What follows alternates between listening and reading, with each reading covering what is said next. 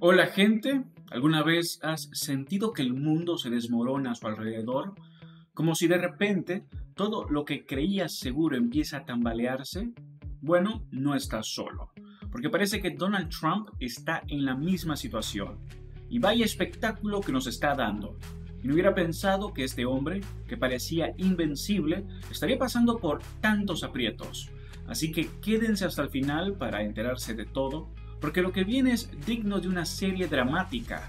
Y por supuesto, no se olviden de darle al botoncito de suscribir, darle like y compartir ese video con todos sus amigos, especialmente aquellos que disfrutan de un buen drama político, ya sea que amen u odien a Trump. Vamos a empezar con lo más jugoso, el drama principal. Imagínese esto, te despiertas un día soleado, listo para conquistar el mundo, pero en lugar de buenas noticias te das cuenta de que todo está desmoronándose a tu alrededor. Primero los números en las encuestas están en caída libre, cayendo más rápido que las acciones de Trump Media, que por cierto también están en picada. ¿Y eso es todo? No, señores, no lo es. Además tienes una cita en la corte el próximo 18 de septiembre que amenaza con ser el evento del año, pero no en el buen sentido. Menudo lío, ¿no creen? Trump, el hombre que parecía inquebrantable, ahora está viendo cómo su imperio, que alguna vez fue dorado y brillante, se está desmoronando. Pero tranquilo, esto es solo el comienzo de un show que promete más giros que una montaña rusa. Cuando todo parece estar mal, ¿qué haces? Pues claro, llamas a tu superhéroe favorito. Pero en este caso no es Superman ni Batman, sino Elon Musk. Sí, Elon, el hombre que parece estar en todos lados últimamente. En medio de este caos, Trump decide que es hora de recurrir a su as bajo la manga.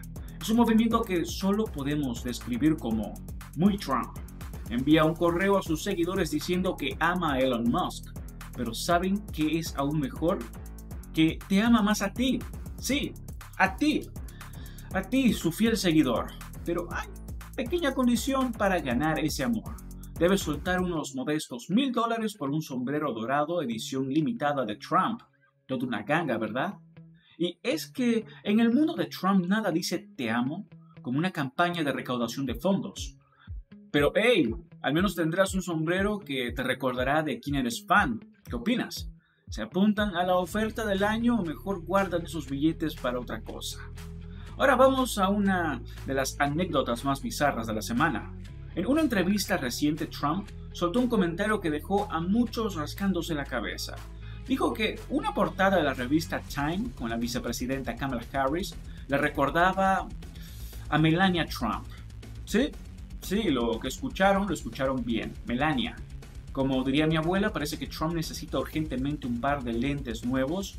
¿O será que todos hemos estado viendo mal a Kamala todo este tiempo? Es difícil no reírse un poco, ¿no? Imagínense la confusión en la redacción de Time cuando escucharon esto. Lo cierto es que este tipo de comentarios son los que hacen de Trump una figura tan impredecible. Y por eso lo amamos o lo odiamos. ¿Ustedes qué piensan? ¿Hay alguna semejanza que se nos escapa o simplemente Trump tuvo un lapsus ocular? Díganme en los comentarios. Pasemos ahora a los números. Y no, no son precisamente buenos para Trump. Mientras su popularidad sigue cayendo, otras figuras políticas están viendo un aumento en sus índices de favorabilidad. Kamala Harris, por ejemplo, está disfrutando de un índice positivo, lo cual es bastante raro en el mundo político actual. No podemos olvidarnos del gobernador de Minnesota, Tim Walz, quien también está subiendo en las encuestas. Parece que el público está empezando a cambiar de opinión, ¿no creen? Quizás la gente está cansada de los discursos llenos de miedo y prefieren una cara más amigable en la política. O tal vez simplemente están buscando algo nuevo. ¿Será este el comienzo de una nueva era en la política estadounidense? Solo el tiempo lo dirá, pero una cosa es segura. Trump necesita repensar su estrategia si quiere recuperar terreno. Ustedes decidan qué prefieren. Un líder que inspira miedo o uno que saca una sonrisa. Y ahora hablemos de algo que ha levantado más de una ceja. Resulta que Trump ha estado volando en un jet privado que perteneció, sí, lo adivinaron a Jeffrey Epstein, ese Epstein. Aunque el avión ahora luce un trabajo de pintura brillante con el eslogan Trump 2024, no se engañen, es el mismo avión, nada como volar con estilo, ¿eh? Pero claro, en la política todo lo que haces es analizado con lupa y no es de extrañar que esta noticia haya generado tanto revuelo. ¿Qué opinan ustedes? ¿Es solo una coincidencia o hay algo más detrás de esta elección de transporte? ¿Y cómo afectará esto a la imagen de Trump, especialmente con toda la controversia que ya lo rodea? No hay duda de que este detalle ha añadido más leña al fuego y todos estamos aquí para ver cómo se desarrolla. En otras noticias, Trump no se queda quieto.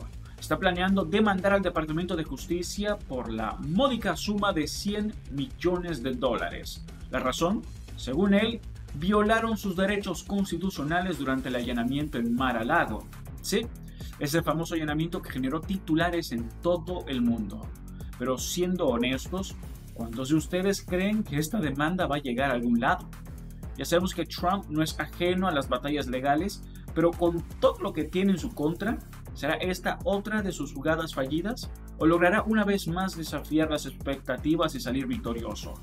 Esto es como un verdadero duelo de David contra Goliat, pero en este caso David lleva una corbata roja y vive en una mansión en Florida.